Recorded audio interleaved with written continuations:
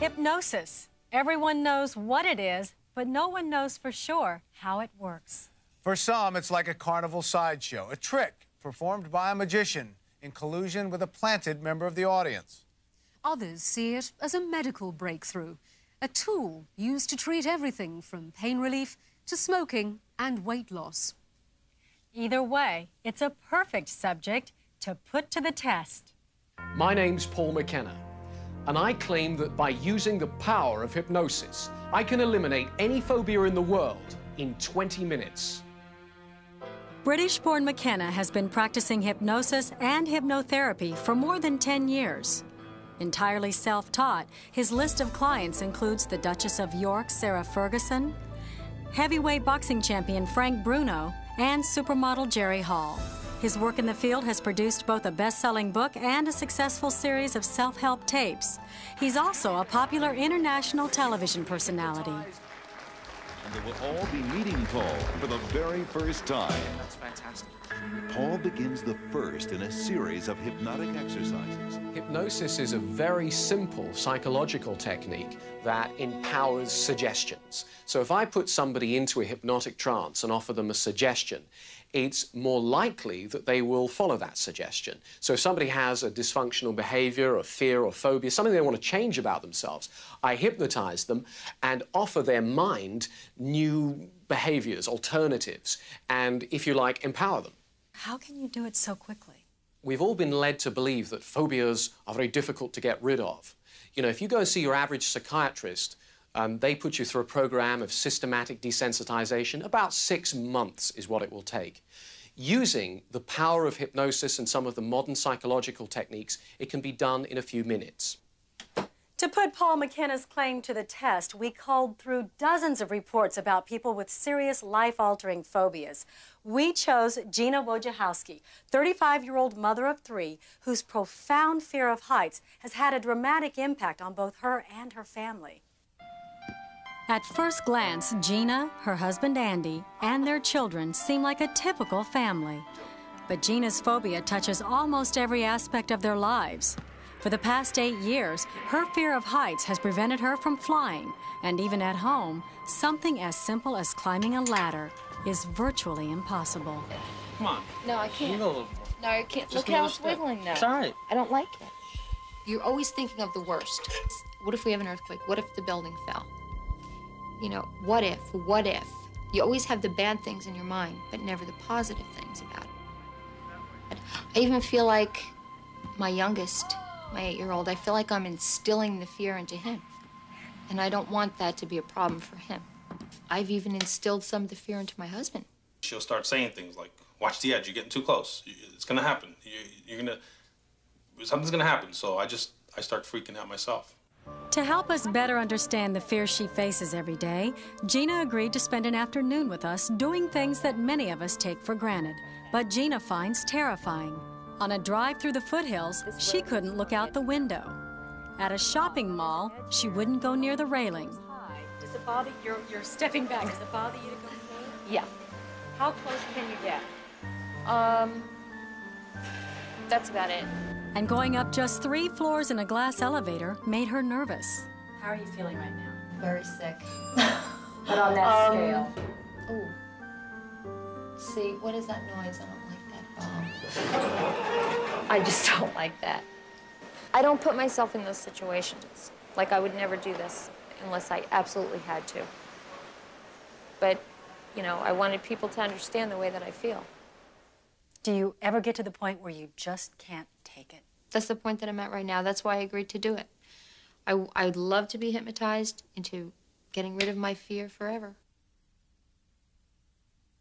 It was time to begin the first phase of our test, the hypnosis session. Gina and Paul McKenna signed affidavits stating that he had never hypnotized her before. This would also be the first time I had witnessed the process. Very shortly, you will have overcome your fear of flying, your fear of heights forever. We will not show you nor let you hear the entire hypnotic induction to ensure that you at home cannot be hypnotized. So, what I'd like you to do is shake hands with me, and as you do, look into the palm of your hand. Watch the changing focus of your eyes, only as fast as. When a person's hypnotized, they look like they're just sitting there with their eyes closed, very relaxed. In a sense, the body is asleep, but the mind is still awake. The mind is able to hear what I'm saying and follow my suggestions. Your mind is relaxed, and your mind has become very sensitive to my hypnotic suggestions. Once Gina became hypnotized, Paul began to work on the fears locked in her unconscious mind. And just remember a time you felt really, really confident.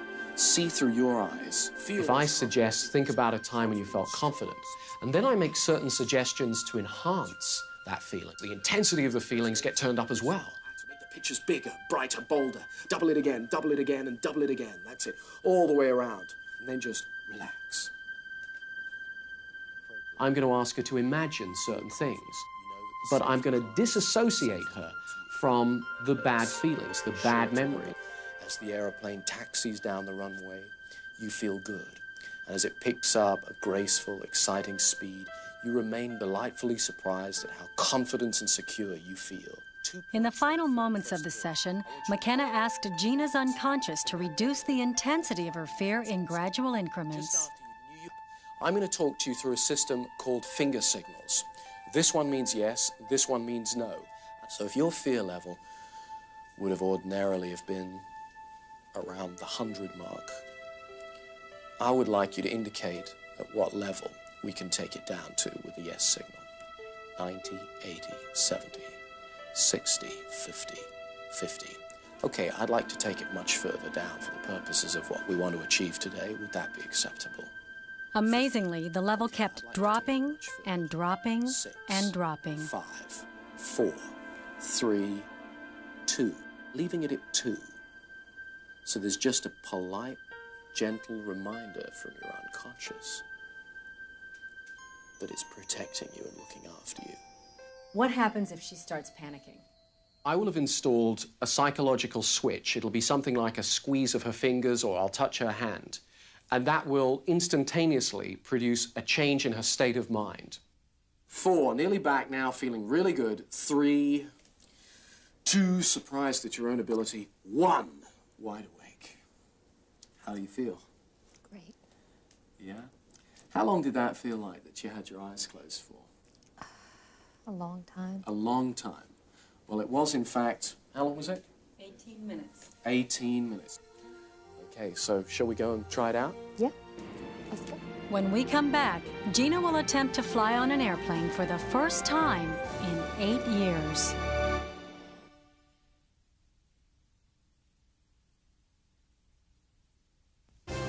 Put to the Test will continue in a moment here on ABC.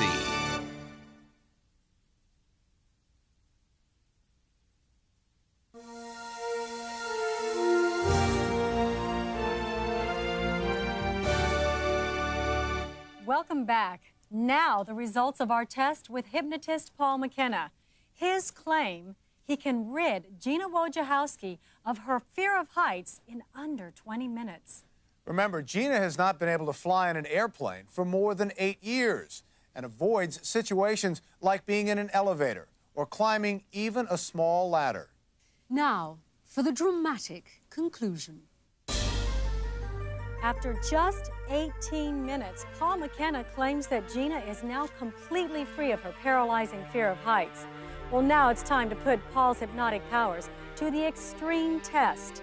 Here at a small airport in Chino, California, a C 123 transport plane is standing by to take Gina on a flight that could change her life forever.